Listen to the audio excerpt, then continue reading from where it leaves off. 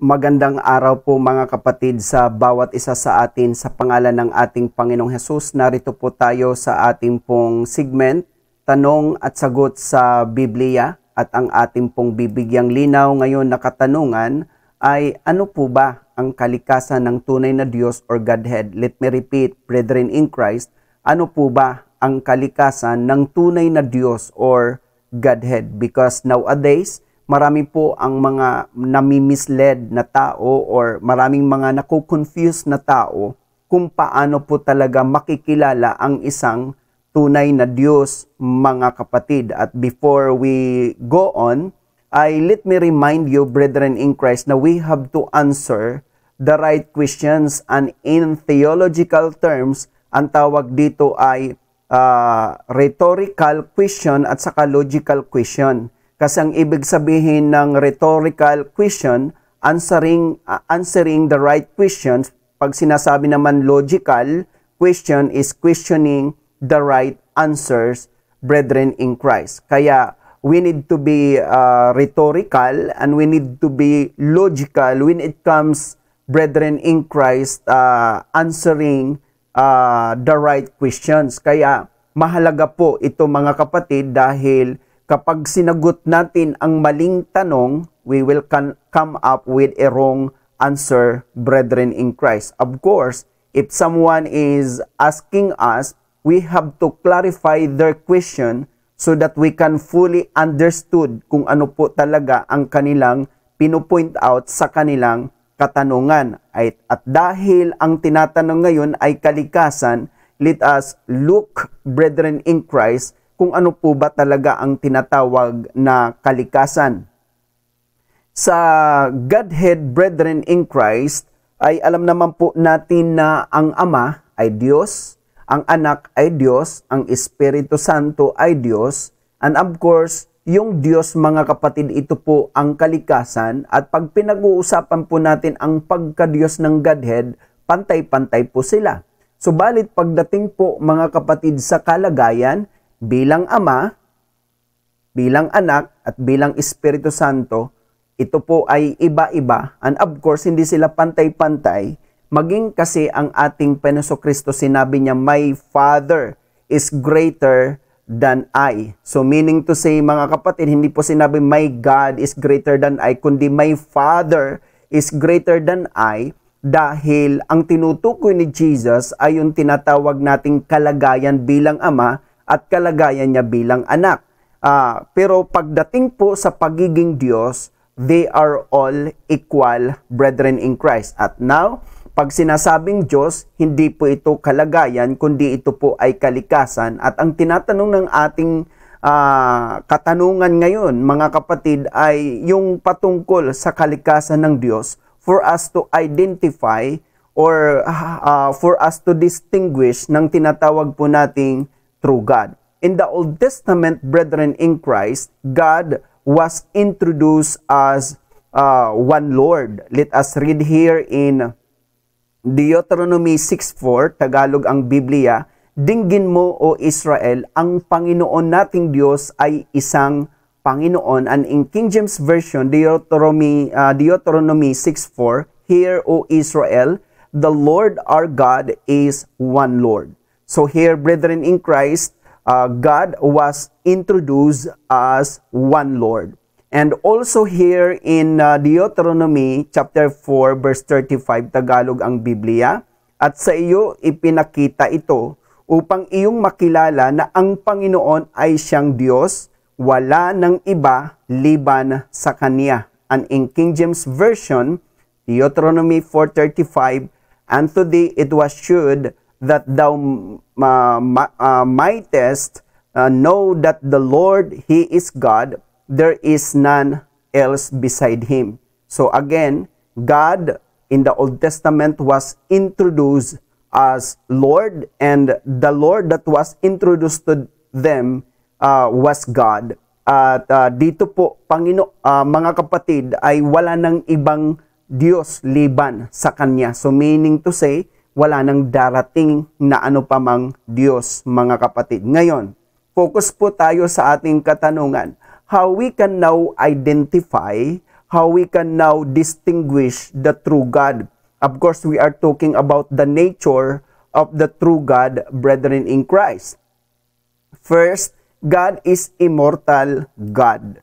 Kasi ang sabi po mga kapatid dito sa 1 Timothy 6.16, Tagalog ang Biblia, na siya lamang ang walang kamatayan na nananahan sa liwanag na di malapitan, na di nakita ng sinumang tao o makikita man. Sumakaniya nawa ang kapurihan at paghaharing walang hanggan siya nawa. So here, brethren in Christ, ay uh, makikita po natin na ang tunay na Diyos ay walang kamatayan. Kaya dito mga kapatid, marami na po ang mga ipinakilalang Diyos sa sanglibutan. Sila po ay namatay at nananatiling patay mga kapatid at maliwanag na ang Diyos ay walang kamatayan because if we are going to define brethren in Christ ng walang kamatayan and before that let us read it here in King James Version 1 Timothy 6:16 who only hath immortality dwelling in the light which no man can approach unto whom no man hath seen nor can see to whom be honor and power everlasting. Amen. So here, the word immortality, brethren in Christ, for us to fully understood, we have to uh, we have to define the word immortality in Greek word. The more uh, the word immortality in Greek word ay athanasia, uh, meaning uh, deathlessness, and it was translated immortality. So, wala pong kamatayan. Kaya kapag ka mayroong ipinakilalang Diyos, mga kapatid, at namatay na Diyos, iyan po ay hindi tunay na Diyos dahil ang Diyos na tunay ay walang kamatayan.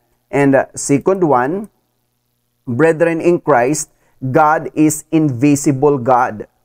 Ang Diyos ay hindi po nakikita.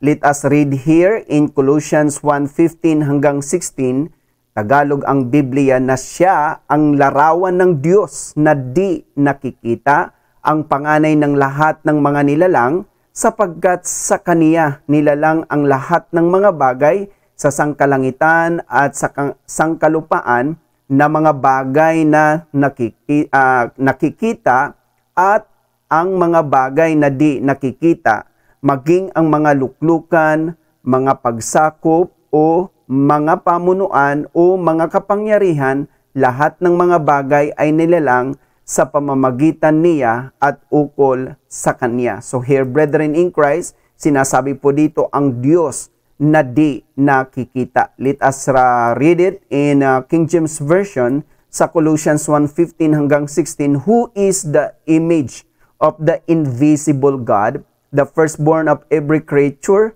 for by him were all things created that are in heaven and that are in earth, visible and invisible, whether they be uh, thrones or dominions or principalities or powers, all things were created by him and for him. So here, brethren in Christ, uh, as we could see, invisible God. Kaya ang Diyos ay hindi po nakikita maliban mga kapatid kung siya po ay nagmanifest ng tinatawag po nating uh, through theophany or uh, through angelopany, brethren in Christ. But the reality, by nature, brethren in Christ, ang totoong Diyos ay hindi po nakikita. Meaning, uh, ang Diyos ay spirit, kaya siya po ay invisible at of course, siya po ay tangible. Even though na we cannot see Him, but we can feel Him, brethren in Christ, because as what I said, God is, is spirit and therefore He is invisible and even He is invisible, still He is tangible, brethren in Christ. And now, let us define the word invisible in Greek word. The word invisible, brethren in Christ, ay uh, hu, uh, huratos, meaning invisible, and it translated invisible or invisible thing, brethren in Christ. Kaya dito maliwanag na ang Diyos ay hindi po nakikita. Kaya ang mga tao, ang, ang mga pinapakilalang Diyos na visible brethren in Christ, of course, referring to the human, ay they are not true gods kasi ang totoong Diyos ay spirit at ang totoong Diyos ay invisible or hindi nakikita. The third one ay uh, God is immutable God brethren in Christ. Anong ibig sabihin ng immutable? Let us read here in Hebrews 6.17, Tagalog ang Biblia.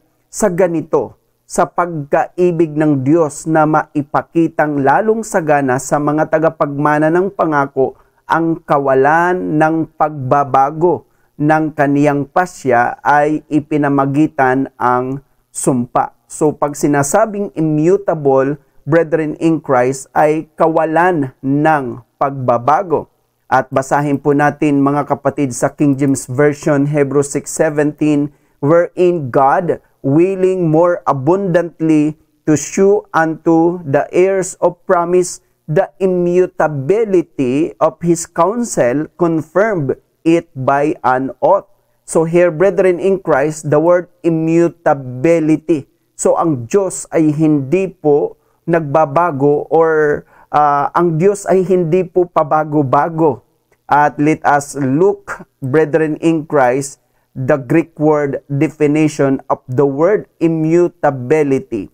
The word immutability in Greek word, brethren in Christ, ay ametatetos, meaning unchangeable or neuter as abstract unchangeability. And it was translated immutable, immutability, brethren in Christ. Kaya ang Diyos ay hindi po nagbabago or hindi po nagpapabago-bago ng plano, pag-iisip, or layunin mga kapatid dahil again uh, dito sa ating binasa ay kawalan ng pagbabago ng kaniyang pasya. So, God never changes. Kaya kapag ka may ipinapakilalang Diyos sa atin na nagpapabago-bago, brethren in Christ, walang disposition, meaning to say that is, na, that is a false God. Because ang totoong Diyos ay hindi po nagpapabago-bago, uh, ito man ay sa kanyang plan, ito man ay sa kanyang purpose, ito man ay sa kanyang mga promises, brethren, in Christ. And uh, the fourth one, God is incorruptible God. Ang ibig sabihin ng incorruptible, hindi ho nasisira mga kapatid. Let us read here in 2 Timothy 1.10, Tagalog ang Biblia. Ngunit ngayon ay nahayag sa pamamagitan ng pagpapakita ng ating tagapagligtas na si Kristo Jesus na siyang nag-alis ng kamatayan at nagdala sa liwanag ng buhay at ng walang pagkasira sa pamamagitan ng Ebanghelyo. And for us to fully understood, brethren in Christ, let us read it in King James Version, 2 Timothy 1.10, but is now made manifest by the appearing of our Savior Jesus Christ, who hath abolished death and hath brought life and immortality to light through the gospel. So here, brethren in Christ, ay uh, binanggit po ay ay immortality samantala sa Tagalog ay walang pagkasira because if we are going to translate the word walang pagkasira ay incorruptible brethren in Christ. Gayon pa man kung ang ginamit po sa King James Version ay uh, immortality, pareho pa rin po mga kapatid dahil ang Greek word na ginamit defines as like this, brethren in Christ. The word incorruptible in uh, Greek word ay uh, aptarsia, meaning incorruptibility, generally unending existence, figuratively genuineness, and it translated immortality, incorruption, sincerity. So here, brethren in Christ, ay makikita po natin ang salitang incorruption.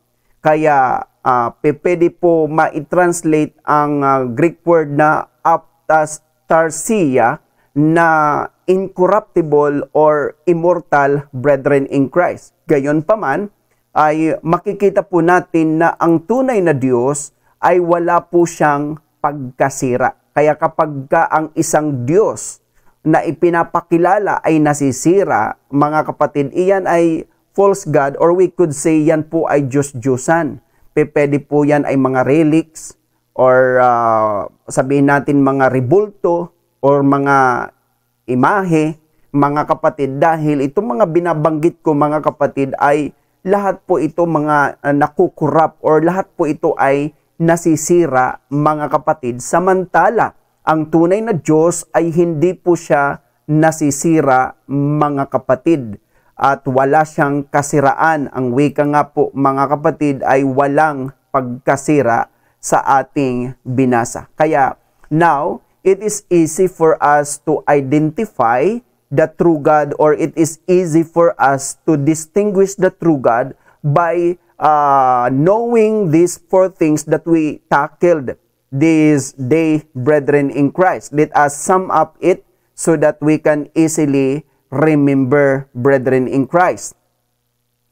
Divine nature of true God. True God is immortal God at uh, mababasa po natin sa 1 Timothy 6.16 immortality ay athanasya.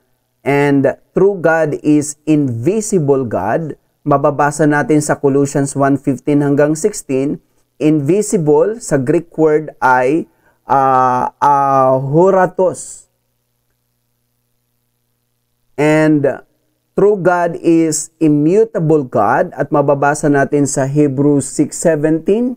Immutability sa Greek word ay uh, ametatetos and true God is incorruptible God at mababasa natin sa 2 Timothy 1.10 incorruptible sa Greek word ay aftarna, aftarsya. Let me repeat, aftarsya, brethren in Christ. And these are the divine nature of true God, immortal, invisible, immutable, and incorruptible. Ngayon mga kapatid, kay, kapag ka may kinikilala tayong Diyos that are not uh, immortal, that are not invisible, that are not immutable, and that are not uh, incorruptible, brethren in Christ, ay these are false God.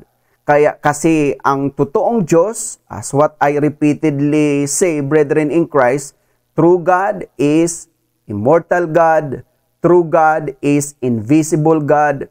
True God is immutable God and true God is incorruptible God, brethren in Christ. And I hope that I answered the question,